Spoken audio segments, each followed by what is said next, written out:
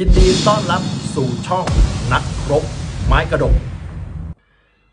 จตุพรเชื่อปฏิบัติการสายเหี่ยวนะครับ เล่นเกมเสี่ยงกำจัด ก้าวไกลคู่จิ้นเพื่อไทยก็ต้องบอกก่อนนะครับ ว่าตอนนี้นะครับตามที่เราทราบนะครับสารรัฐธรรมนูญได้วินิจฉัยออกมานะครับว่าวันนี้นะครับการกระทำของพรรคก้าวไกลเนี่ยเข้าข่ายล้มล้างการปกครอง ซึ่งสั่งให้หยุดการกระทำแต่การหยุดการกระทำนั้นคำวินิจฉัยของสารรัฐธรรมนูญนะครับก็มีนักร้องนะครับแล้วก็นะครับคนที่ร้องแล้วก็มีอีกหลาย ๆ คนที่ไปยื่นร้องตัว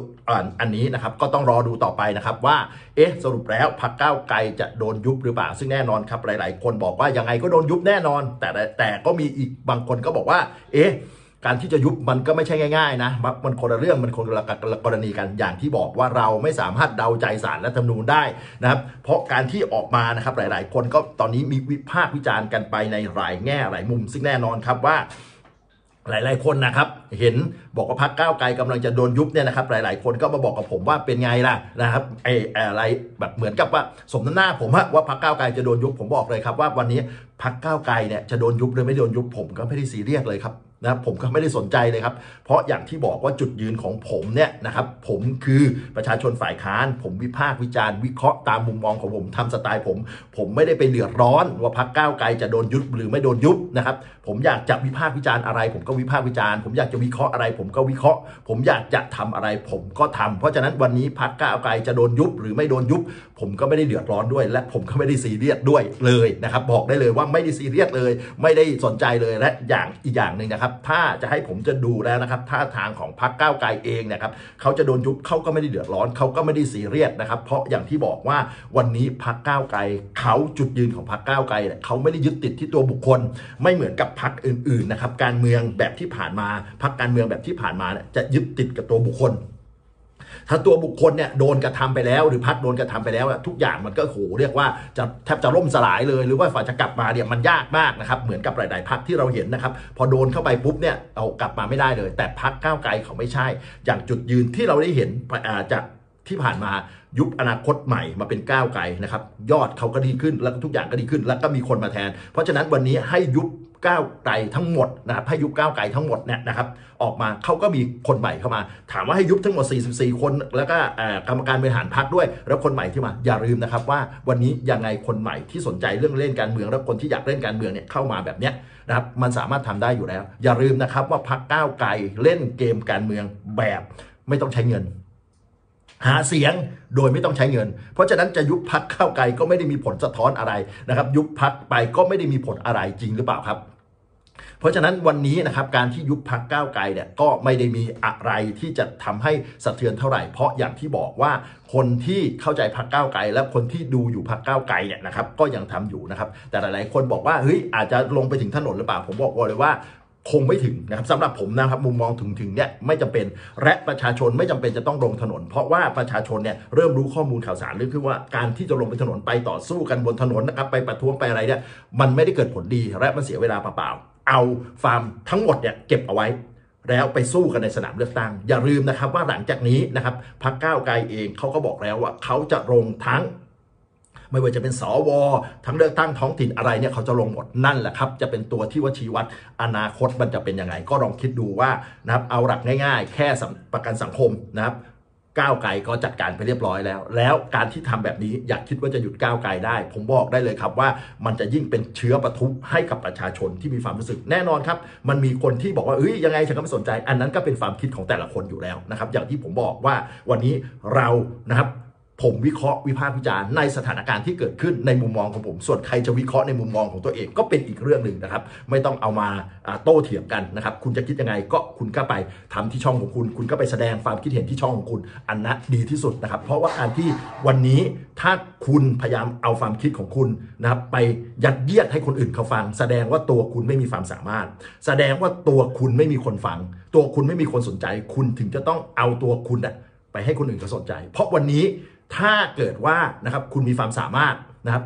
คุณอยู่ที่ช่องคุณ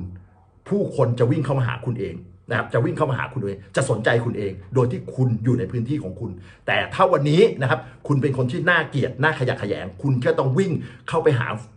หาคนอื่นเขาเพื่อให้คนอื่นเขาบอกและก็ไปบอกคนอื่นว่า ผมมีตัวตนนะ ผมอยู่ตรงนี้นะ ผมไอ้นี่ตรงนี้นะถูกต้องหรือเปล่าครับ วันนี้คนที่เขามีความสามารถเขาอยู่ในพื้นที่ของเขา คนก็วิ่งเข้ามาหาเขาเขาเองนะครับจตุพรเชื่อปฏิบัติการสายเหี่ยวเนี่ยเล่นเกมเสียงกำจัดก้าวไก่คู่จิ้นเพื่อไทยจตุพรจับตาสายเหี่ยวกลุ่มวงการดิวเล่นยาแรงนะครับคุมสภาพดิวรุถูกเบี้ยวนะครับ คาดยัดมาตรการสูงขั้นล้มล้างประชาธิปไตย ชี้คำวินิจฉัยของศาลเข้าทางเรืองไกลบีบรีบตะคุบนะครับยุบยื่นยุบพักเชื่อก้าวไกลเข้าตาอับมีแต่ตายและตายเพื่อหาทางไปเกิดใหม่ 1 กุมภาพันธ์257นายจตุพรพรมพันธ์วิชยากรคณะหลอมรวมประชาชน Facebook ไร้ระบุว่านะครับขบวนการเบ่ง เบ่งการดิวนะครับ สายเหี่ยวเริ่มปฏิบัติการแทนที่สายพิราบเนื่องจากวานวันจะถูกเบี้ยวดิว จึงเล่นเกมเสี่ยงล้มล้างพักก้าวไกลเพื่อควบคุมเพื่อไทย โดยที่ถูกนำไปเชื่อว่ายังมีมิตรภาพทางการเมืองต่อกันอยู่ นายจตุพรกล่าวว่า นึกไม่ถึงสารรัฐธรรมนูญจะจัดเต็มวินิจฉัยพักก้าวไกลเข้าข่ายล้มล้างการปกครอง แล้วในวันที่ 1 กุมภาพันธ์ นี้นะครับ นายเรืองไกรรีกิจวัฒนะสมาชิกพักพลังประชารัฐ รีบนำคำวินิจฉัยไปยื่นคณะกรรมการการเลือกตั้งหรือกกตให้ยุบพักก้าวไกลทันที ตามกฎหมายพักการเมืองมาตรา 92 วงเล็บหนึ่งซึ่งแทบไม่ต้องไต่สวนอะไรเพิ่มเติมอีกแล้ว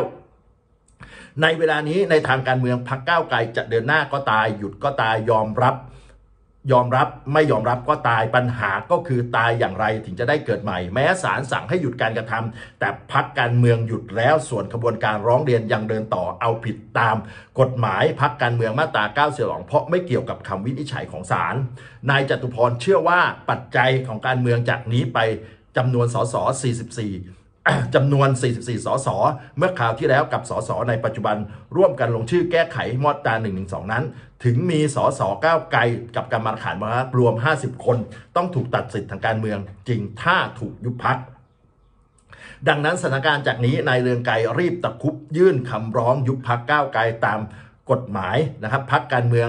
มาตรา 92 วงเล็บหนึ่งกับกกต เพื่อนำมาส่งต่อสารรัฐธรรมนูญวินิจฉัยอีกครั้ง ซึ่งกรณีเช่นนี้จะไปบรรจบกับปัญหาทางการดิวทางการเมืองกันอย่างไร เพราะเป็นช่วงจะเกิดการผัดเปลี่ยนทางการเมืองเข้ามาผสมกันนะครับถ้าประเมินโดยไม่เกี่ยวข้องกับคำวินิจฉัยของพรรคการเมืองแล้ว ในการเมืองกรณีดิวพักเพื่อไทยกับก้าวไกลทำเสมือนเป็นคู่มิตร สมานกันจับมือตั้งรัฐบาลร่วมกัน หลังสวพ้นวาระ 11มกเอ่อ11 พฤษภาคม แต่ผู้มีอำนาจกับเชื่อว่าเป็นจริงและยังมีมิตรไมตรีต่อกันและเป็นกันอยู่นะครับ โดยไม่ทำโดยไม่ได้ทำให้แค่คู่เสมือนเท่านั้น นายจตุพรกล่าวว่าในทางการเมืองผู้มีอำนาจแบ่งการดิวนะครับจะไม่เข้ามาเสี่ยงด้วยกับการผิดดิว หรือเบี้ยวดิวที่จะเกิดความชิบหายรอบวงนะครับ แต่สถานการณ์ขณะนี้ดูเหมือนว่านับจากนี้ไป การจัดการตามแนวทางของสายเหี่ยวจะมาแทนที่สายพิราบนะครับ เมื่อเริ่มนะครับรู้สึกว่าดิวจะเริ่มถูกเบี้ยวขึ้นมา จึงเกิดมาตรการตัดไฟตั้งแต่ต้นลมเพื่อควบคุมสถานการณ์ให้ได้ อีกทั้งยังระบุว่าการดิวกันครั้งนี้ ก่อให้เกิดผลกระทบในวงฟ้างมากมาย ฝ่ายอนุรักษ์นิยมเมินเฉยและปล่อยวาง ที่ฝ่ายเสื้อแดงบางส่วนและเสื้อเหลืองที่ก็มีไม่น้อยกลายเป็นเสื้อส้ม ด้วยความคับแค้นดังนั้นถ้าดิวครั้งนี้ถูกเบี้ยวซ้ำอีกนะครับย่อมเสียหายครั้งใหญ่โดยไม่จำเป็นเลยนะครับ เมื่อขบวนการการดิวนะครับเล่นเกมเสี่ยงโดยไม่ให้ติดคุกแม้แต่วันเดียว หรือการตั้งรัฐบาลพิเศษในลักษณะพักร่วมหลากสีเสื้อนะครับเลิกขัดแย้งกันอย่างนี้ ดังนั้นถ้าเริ่มจัดการคู่จิ้นที่เป็นมิตรกันอีกฝ่ายหนึ่ง ส่วนอีกฝ่ายหนึ่งก็ต้องกำจัดด้วยเช่นกัน ดังนั้นสถานการณ์ถัดนี้ไปจะได้ไม่จะไม่ง่าย เพราะเพราะกลัวจะลงเอยแบบ 22 พฤษภา57 เพราะกลุ่มบ่งการดิวนะครับ เริ่มสงสัยดิวกำลังจะถูกเบี้ยว นายจตุพรกล่าวว่าถ้าพักก้าวไกลอ่านมาตรา 92กฎหมายพักการเมืองอย่างเข้มขัดแล้ว ย่อมไม่มีไปทางเป็นอื่นเลย และแม้ต้องหยุดการกระทำนำไปสู่ การแก้มาตรา1นึโดยฉับพลัน แต่หนทางนี้ยังเอาตัวรอดจากการถูกยุบพักไม่ได้เลย อย่างไรก็ตามท่วงทำนองของพรรคก้าวไกลเป็นสิ่งสำคัญ แม้ยังยืนตัวตรงเดินไปตายเอาดาบหน้า แต่ก็เกิดผลกระทบกับเสียงสนับสนุนพรรคที่หดหายไปอีกไม่น้อยเช่นกัน ดังนั้นกว่าจะถึงการเลือกตั้งใหม่สถานการณ์การเมืองยังต้องพลิกเปลี่ยนไปเปลี่ยนมาอีกหลายตลบนะครับ โดยตั้งแต่วันที่ 18 กุมภาพันธ์นี้ แล้วยังมีขบวนการการแก้ปัญหาเงินดิจิตอลของพรรคเพื่อไทย และกรณีสารสั่งยุบพักก้าวไกลหากมาไล่เลี่ยกัน ดังนั้น อนาคตการเมืองจึงมีความเสี่ยง ในยามที่รัฐบาลชุดนี้นะครับเปราะบางที่สุด